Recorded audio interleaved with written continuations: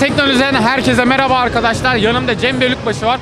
Öncelikle Gaming İstanbul'a ve Milliye Teknoloji'ye hoş geldin. Hoş bulduk. Nasılsınız? İyiyim sen nasılsın? Ben de iyiyim. Teşekkür ederim. Ee, şimdi e, seni tanıyanlar zaten tanıyor ama tanıyamayanlar için kendini birazcık bahseder misin? Tabii ben Cem Bölükbaşı. 21 yaşındayım. 2017'den beri de Formula 1 e-sporla uğraşıyorum. Ve bir yarışçıyım aynı zamanda. 2017'de dünya beşincisi, 2018'de dünya ikincisi oldum. Şampiyonada e-sporda. Onun dışında 2019'dan beri de e-sporun yanında aynı zamanda gerçek yarış pilotu oldum. Borusan'la beraber GT4 Avrupa Şampiyonası'nda yarışıyorum. Aynı zamanda geçen sene ilk Formula yarışıma çıktım Formula Renault'da.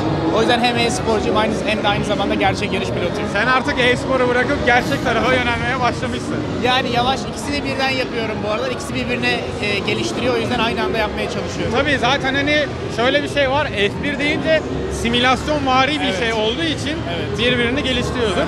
Şimdi demin bir rekor denemen oldu. Evet. Başarabildin mi, başaramadın mı? Başardın. Başardım. Başardın. Peki e, kaç saniyeyle geçtin? Kendi rekorun muydu, dünya rekorun muydu? Onu da söyle. kendi rekor ya da şu ana kadar atılan rekorlar arasındaydı buraya katılanlar arasında. 38 saniye yaptım galiba. Şu ana kadar da en iyi 42 saniye yapılmış.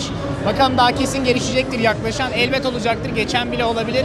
Umarım geçen olur. Belki de bizim için e, Formula 1 Espor Şampiyonası'nda belki yeni yetenekler ve Türkler için de Tabii. yeni bir avantaj olur. Hem de kendini hani Kendini rekabet kanıtlamak için de, ortamına evet. girmiş olursun. Sen de daha iyi Evet aynen noktalara öyle. gelebilirsin. Aynen öyle. Peki şimdi e-spor konusunda şöyle bir e, gerçek var. Oynadığın bilgisayar ya da donanım oyunu elbette ki etkiliyor. Sen bu konuda ne kullanıyorsun? Oyuncu ekipmanı olarak, bilgisayar olarak neler kullanıyorsun? Ya şöyle aslında bizde inanılmaz fark ediyor. Çünkü 300'de 350 km hızlarla gittiğiniz için Formula 1 oyununda o aldığınız FPS çok önemli. Bu yüzden de hani en iyi bilgisayarı veya ses de çok önemli. Çünkü kulaklıklardan da motoru duyup, lastikleri duyup ona göre tepkime veriyorsunuz. Omen HP'yi kullanıyorum ben de ve çok memnunum. Öyle devam ediyorum. Çünkü aslında bizde her o farkı duymamız gerekiyor. Ee, bu kadar kişi arasından bir fark yaratabilmek için bir ekstra bir şeyler duymak, e, kimsenin duyamadığı bir şey duymak bizim için büyük avantaj sağlayabiliyor. Tabii çoğu e, e-spor oyununda ses kasmak diye bir şey var. Bak ben bunu bilmiyordum mesela hani yarış oyununda lastiklerden gelen sese göre lastik değiştirmek gerektiğini Ya viraj içindeki sese göre lastik performansını ne kadar kullandığınızı ayarlayabiliyorsunuz. O yüzden daha çok daha hızlı girebilirim viraja diyorsunuz veya yavaş kalmışım, çok hızlı olmuş hepsini anlayabiliyorsunuz. Bayağı değişik, Evet. bayağı ilginçmiş o zaman. Peki masaüstü oyuncu ekipmanları konusunda e, sanırım yine Omen kullanıyorsun. Evet, aha. Yani tercih ettiğin belirli bir model var mı? Hani seni izleyen insanlara da önerip önermek için bunu.